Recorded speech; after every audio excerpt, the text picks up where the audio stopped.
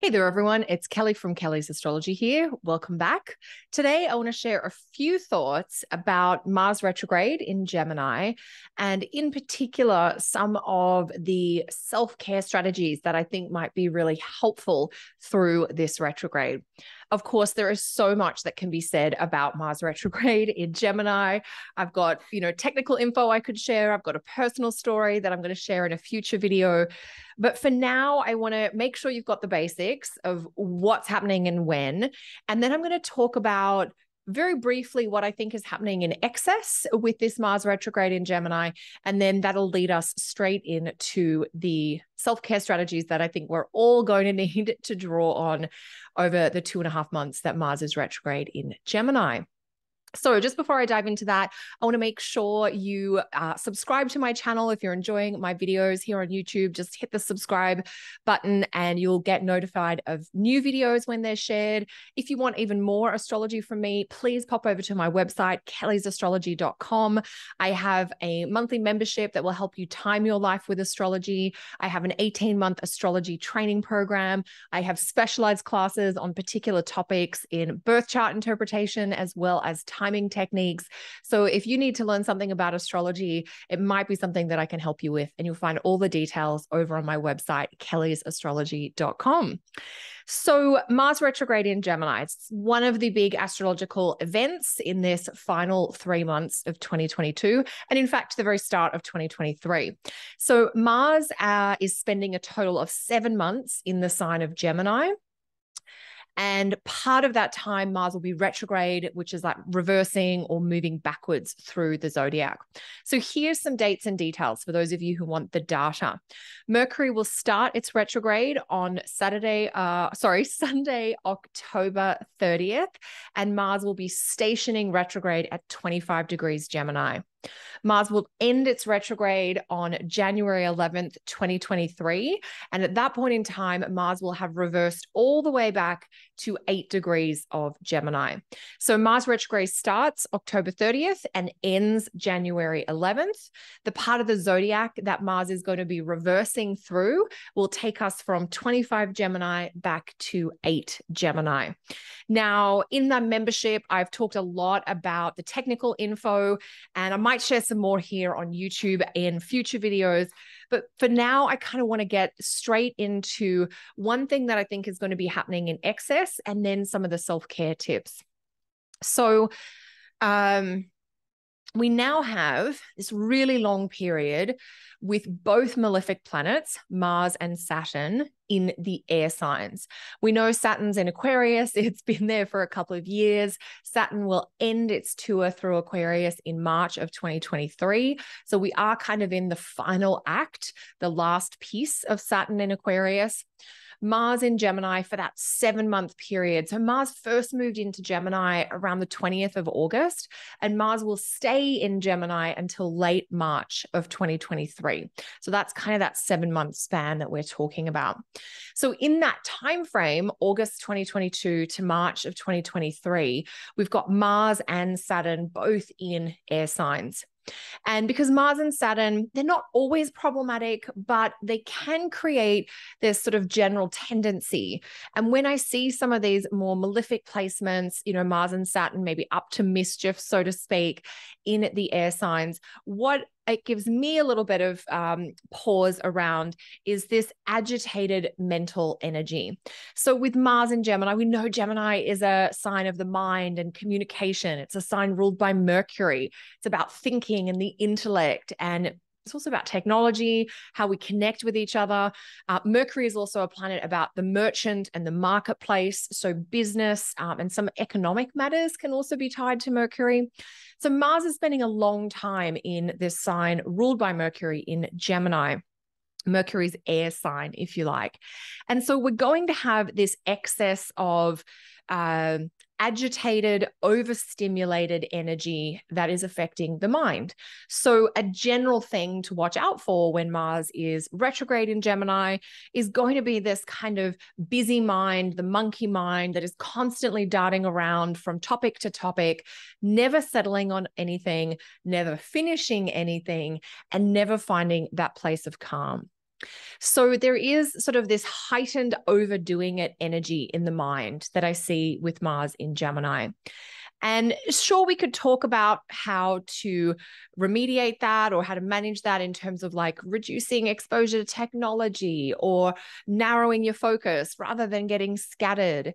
But the thing is, when we get these kind of slightly more problematic or challenging energies affecting air signs, the answer is not more information and more data. The answer is often to come into the body. Now, with the planet Mars, taking action is going to be really good, but more thinking, more information, and more planning, not great. So maybe you're going to conduct some experiments. You're going to be curious to try and see what happens. Could be another way of working with Mars retrograde in Gemini. I always think of planetary retrogrades as a chance to review and redo. And that can mean questioning why I do things the way I do, and perhaps you know, being curious as to whether there's a different way that might be in some ways better that I hadn't thought about. You know, that idea of you don't know what you don't know. And sometimes trying random things or doing things outside your comfort zone is a way of figuring out, oh, I didn't know that about this thing or about that habit or about that routine. And now that I know it, I'm going to stick with what I know. Or now that I know that, I can change what I was doing, depending on what it is you discover. But when I've worked with clients over the years who are having, you know, a lot of air sign activation, overthinking is its like own kind of little issue. And what tends to be most helpful is the antidote or the opposite. And of course, the ideal of overthinking would be like this beautiful Zen meditative state. But we are living in the 21st century, and many of us have busy lives with kind of multiple things happening at once. And one way to manage all of that, that kind of hectic, frenetic energy, which is definitely Mars retrograde in Gemini, is to come back to our body. Breathing is going to be the core physical skill to focus on while Mars is in Gemini most of us don't breathe properly. We breathe really shallow from like the diaphragm up. We're breathing up here or we're breathing up here. But we actually have the capacity to, to breathe through the whole torso. We can breathe belly out, sides out. Even in yoga and Pilates, the idea of like imagining the back ribs opening. So, learning how to breathe better is a great self care strategy, probably my number one tip for the Mars retrograde. Deeper belly breathing will calm your nervous system. It helps to take you out of your mind, even just for a moment, gives you something to focus on that isn't the 25,000 things going on around in there, but it's raising the belly with the breath, pushing the side body out, and so on. For me, I'm not the best breather. That's how I know about how many of us breathe badly uh, or don't breathe deeply enough. I find when I go to a yoga class or a Pilates class, in addition to the stretching and the movement benefits, I feel calm afterwards because just by its nature, I breathe more through my nose. I breathe in time with my movement. And that adds this kind of general calming effect. And so for me, in terms of this self care and getting in the body when Mars is in Gemini, I'm making sure I get to a yoga class each week, that I do some Pilates each week. I love to go to a class because I like the group dynamic. It's also very Gemini. But if that's not available to you in your area or your price point, there's lots of great resources for yoga and belly breathing and Pilates online. Uh, and I would encourage you if you've never done yoga or Pilates or breathing before, just look for an introductory 10 minutes something. The funny thing with breathing and stretching, you don't need to do an hour and a half. You don't always even need to do an hour. 10, 15, 20 minutes will make a noticeable benefit for you. So that's kind of what that looks like for me is making more time for these practices, even to the extent of like, I've got a yoga mat in my office right now. I'm working outside our home at the moment, which is not usual for me. I've worked at home for 20 years now. Uh, but in the personal Mars retrograde story, which I'll share, we are doing some renovations at our home. And so I'm working outside the home for the moment. But I made sure to bring a yoga mat in with me so that in the middle of the day, if I feel a bit mentally fatigued or if I've done some highly intense online work, I can put the yoga mat down and just take 10 or 15 minutes and do some stretching or a couple of really simple poses. Uh, does, it's not fancy. I'm not a fancy yoga Pilates person. I just know what makes my body feel good and what helps me get kind of out of that frenetic head energy and back into my body. So there are a couple of things that I'm doing. There's a couple of other things I'll talk about. Uh, but have you tried Pilates and yoga? Do you uh, do they help you? Do you like walking around the block by yourself? What are some of the simple like breath work or gentle movement exercises? That you might be trying. Keep in mind that when we're talking about movement as a way of caring for ourselves through the Mars retrograde in Gemini, we're not necessarily talking about movement for intensity or to achieve a goal like um, losing weight or increasing your strength and weight tone or what have you, weightlifting skills. It's more about movement and breathing as a way of calming the mind. Now, if you get some physical benefits as well, like maybe you sleep better or your digestion's better or it helps balance your hormones, you know, different exercises do different things. That's great. That's like a side benefit. But the key here is to kind of calm the mind. So uh, that's really important as the movement. One thing I kind of alluded to is that with this sort of frenetic, excessively stimulated uh, mental energy with Mars and Gemini, a lot of technology is going to be tricky and if you find yourself in that overthinking, over analyzing, like hard to stop that busy mind, some really basic general writing, we could call it journal writing, but I like to think of it as the brain dump kind of writing. There's this funny thing in, that I learned uh, as a sort of a, a self-care self almost therapeutic technique which is that writing down your worries your agitations your frustrations your irritations writing them down on the page changes how you relate to them and it can give you a bit of space to help you deal with them. There's something about you know the idea of mulling over and ruminating and you know going like cuckoo in your mind about oh i just can't stop thinking about this or obsessing about it when it's inside you it feels a part of you. You feel it's it's it's you know there's no space between you and the thing. And when you write it down on a piece of paper you create what's called therapeutic distance. And even though the thing the event, that thing you wish you said, that thing you regret that you did say, uh, you know, that hasn't changed, but now it's on the page and it's outside of you. And you can kind of contemplate it a little bit more objectively with a little bit of distance. And weirdly, that calms our brains down. So that's another little tip uh, writing down worries, agitations, irritations, and frustrations. I think with Mars retrograde in Gemini, part of it is just understanding that you might have a shorter fuse, that you might be quicker to react, that you might be kind of at or even over your capacity of multitasking. There may be sort of too much going on, and that one extra thing that you can normally squeeze in, you just might not be able to manage it now.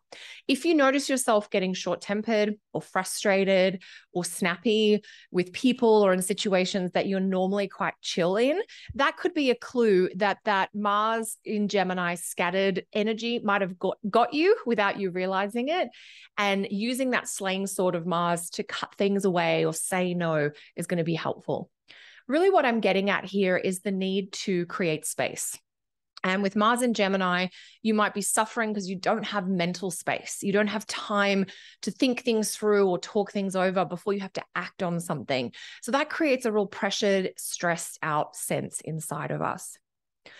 One other thing that I'm doing as a way of, you know, and I, I, sort of also talked about the idea of this overstimulation and maybe that coming from too much interaction with social media or online platforms.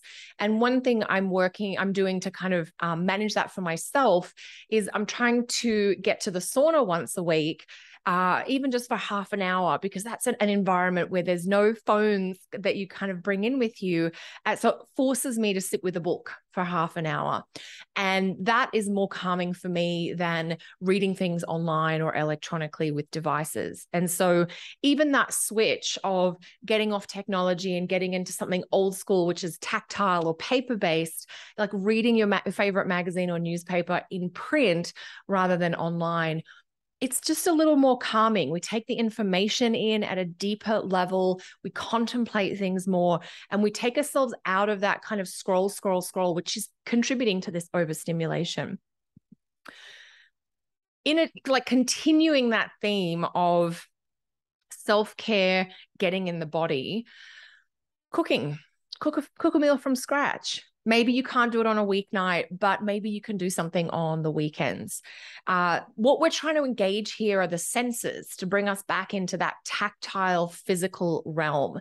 Because Mars and Gemini is not that. And Mars and Gemini is not that in a way that is a little bit excessive and unbalanced. And, you know, we have to remember that we are physical animals and our bodies and our internal systems do have some really important needs uh, that don't involve constantly thinking and using our brains all the time. Now, of course, if you're cooking and you're following a recipe, there is a little bit of thinking, but you're in an environment where there is some sensory stimulation. You'll be smelling the onions and the garlic cooking in the olive oil. You'll be chopping things with your hand, you know, and different foods or vegetables or meats that you cut feel different. Um, and then, of course, when you sit down to eat the food, you've got the tastes and uh, all those textures. And of course, the smell changes from when you start with the onions and garlic to if you add the meat and the veggies and then the spices. So, figuring out how you might be able to have a little bit of that cooking sensation rather than just getting your food on your app on your phone and having it show up to your door. I can describe these things so well because I'm so guilty of that myself. I'm so guilty of that myself. Of course, it's a busy, fast paced life that we're all living. And sometimes what I'm doing at the moment is on a Sunday or a Monday, which are my days off right now, I'm doing some batch cooking. I'm making up a really fragrant stew or soup or casserole so that I can at least reheat that during the week and have some of that nourishing, kind of really richly flavored food. I'm trying to make a point of not just using salt and pepper, like getting some great herbs and spices in so uh, that could be something for you as well. But you know, I was thinking, what does Mars and Gemini like in the kitchen? Mars and Gemini would like the gadgets, and you know, sometimes we buy these devices or machines that will do things in the kitchen, and we don't quite get around to using them. I think this could be a time to experiment. You know, get it out. What does this gadget do? How does this thing work? Just bringing a little bit of technology in, but staying in that primarily sensory space of the smell and the taste and all of that type of thing even the sound, you know, of the onions or the mushrooms in the pan. If you really can't get your head around cooking, fair enough. But see what else you can do to bring sensory stimulation in. Because when we activate the senses, we ground ourselves. So maybe there is a fragrance that you want to have in your home. Maybe there's an essential oil or some incense or some other way of, you know, fragrancing your home that you might enjoy. Maybe it's fresh flowers. Uh, maybe there's sounds. Maybe there's some music that is calming or soothing or mellowing for you that you're going to keep on. Um, what I find, you know, with our modern brains is that we can be so stimulated that going to a place of silence can be a little uncomfortable or confronting. And so sometimes turning the TV off but putting music on, it's just one less level of mental aggravation, if you like. Uh, sometimes having music is a way of giving you something to focus on so that another part of your brain can kind of go into its deeper state. And that's also why, if you are thinking about exploring meditation, if you already meditate and you have a great practice, then yes, uh, Mars in Gemini retrograde is a great time to keep up that meditation practice.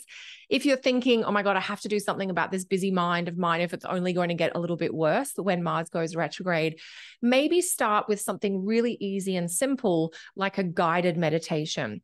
Again, that gives one part of your brain something to focus on and follow, and it allows the other parts of your brain to kind of go into that resting state. It's a good introductory or beginner way of uh, diving into meditation if that's a new space for you. Final tip, self care tip for Mars in Gemini is that this can be a little bit drying. Now, the sign of Gemini is an air sign and has a moisture component, but Mars doing anything for an extended period is going to tend to dry things out a little bit. And so I think moisture and hydration is going to be an important self care strategy. That can mean a few things to a few different people. Uh, hydration can be an internal thing. So making sure you drink enough water every day.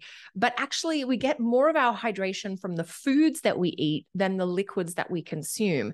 And hydrating foods are basically fruits and vegetables. Now, I'm not a huge fruit eater, but I do have my apple a day.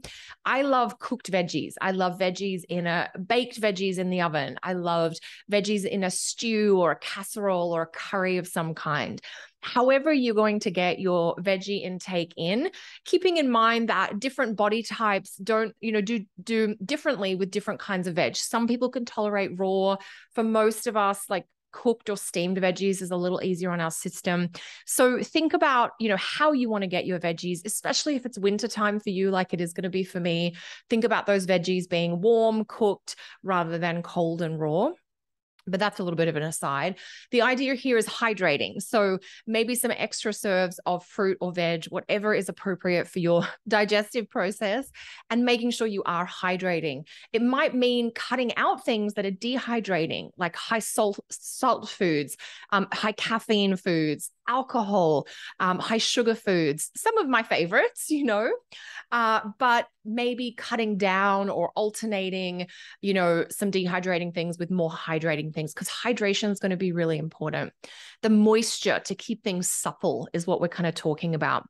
The gentle movement we talked about, stretching, yoga, Pilates, walking, swimming, those kinds of things all have hydrating kind of influences, especially stretching.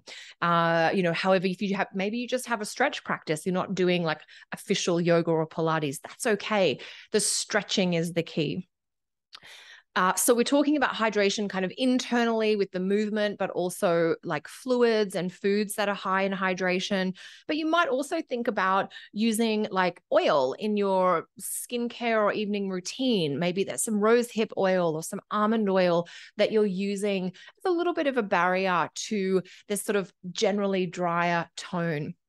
The season of autumn um, does have an, a drier quality to it anyway. So some of these moisturizing tips, uh, moisture tips are kind of good at this time of year in general. But I think Mars is just bringing a little bit of dryness for an extra long period into a place where moisture is good. The other thing that is the opposite, so dry in the astrological kind of um, uh, way of using the word is things that are separated or disconnected. And so, if we're trying to avoid dryness or reduce dryness or kind of remediate against dryness, we're going to want to stay in connection. So, we're not going to want to isolate ourselves. We're going to want to stay in contact, not with everybody, because that's what Mars and Gemini is kind of, you know, that could be an excessive imbalance thing. But thinking about your core group of people, your closest friends, if they're family members that you love and adore, maybe some colleagues that you enjoy their company quite genuinely, we want to make sure we keep the connection there so that we're not letting things kind of dry out, stagnate, or separate. Okay, that's a little longer than I intended to go, but hopefully that gives you a few self care tips to explore and play around with over the next few weeks, even the next couple of months, as Mars retrogrades through Gemini. And if you are looking for more astrology from me, I hope to see you in my monthly membership where we talk all about the aspects that are happening every week so you'll get everything you need to know to time your life with astrology. All right, everyone, if you've got questions, let me know in the comments below. Be sure to subscribe to my YouTube channel here, and I'll see you next time.